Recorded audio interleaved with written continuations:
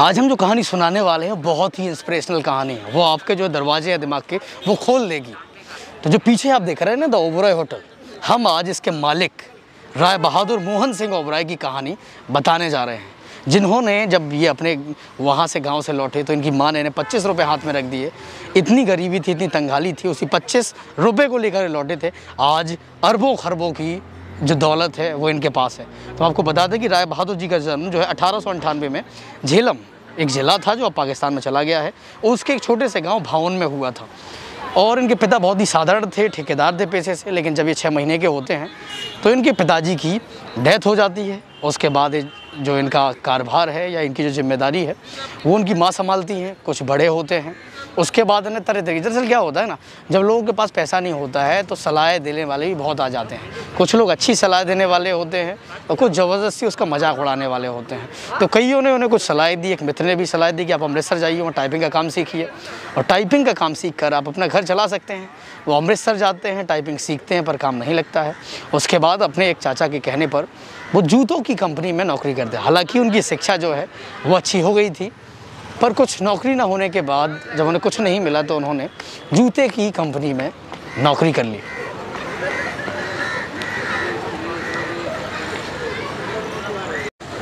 कहते हैं ना, जब किस्मत ख़राब हो तो एक ऊँट पे बैठे आदमी को भी कुत्ता काट लेता है।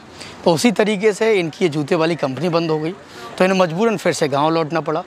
जब ये गाँव लौटे ओबराय साहब तो इनकी माँ ने और सभी लोगों ने मिलकर इनकी ज़बरदस्ती शादी करवा दी। शादी होने के बाद ही आते हैं और अपने ससुराल जनों के साथ रुक जाते हैं, रहने लगते हैं। मन बनाते हैं, गाँव लौटने का, अपनी माँ को अपने साथ ले जाने का गाँव आते हैं। लेकिन गाँव में उस समय प्लेग का जो है बहुत प्रकोप रहता है। उनकी माँ मना करती हैं और कहती हैं, जाओ वहीं अपने ससुराली जनों के साथ, सालों के साथ, ससुर के साथ रहो जाके, वहीं पे अपना कुछ काम धंधा करो। और माँ उस समय उन्हें पच्चीस रुपये उनके हाथ में थमा देती है। और ओवरऑल वापस अपने ससुराल में निकल जाते हैं। उसके बाद उन्हें एक ऐड दिखता है एक अखबार में, शिमला के एक होटल का। वो अपनी माँ के लिए हुए रुपये लेकर जाते हैं। वह उस होटल के लिए परीक्षा देते हैं। तो जब वो होटल में परीक्षा देते हैं, उनकी वहाँ पर नौकरी चालीस रुपये महीने पर तय हो जाती है। वो मेहनत करते हैं, कुछ समय पचास रुपये हो जाती है। वहीं होटल में उन्हें आवास भी मिल जाता है। वो दिन रात मेहनत करते हैं, तरक्की करते हैं तो होटल भी और स्पीड पकड़ लेता है और अच्छे से चलने लगता है। कुछ समय बीतता है, हमारा देश आज़ाद होता है। तो वो अंग्रेज़ दंपति, क्योंकि वो होटल जो था, शिमला वाला, वो अंग्रेज़ों का था, वो देश छोड़ने का मन बना लेते हैं। और महज पच्चीस हज़ार रुपये में ये होटल ओबरॉय जी को सौंप देते हैं। ओबराय जी अपनी पत्नी के गहने वगैरह गिरवी रखते हैं, होटल ख़रीदते हैं और कुछ मोहलत, कुछ पैसों के लिए मोहलत मांगते हैं और कुछ सालों में ही वो पैसा भी पूरा दे देते हैं। तो ये थी कहानी ओबरॉय जी की, जिन्होंने अपनी माँ के पच्चीस रुपयों से शिमला गए, एक प्रकार से व्यवसाय शुरू किया, नौकरी की। बाद में हज़ारों करोड़ का जो है एम्पायर वो खड़ा कर दिया। इनके शिमला में बहुत सारे होटल्स हैं, मुंबई में बहुत सारे होटल्स हैं।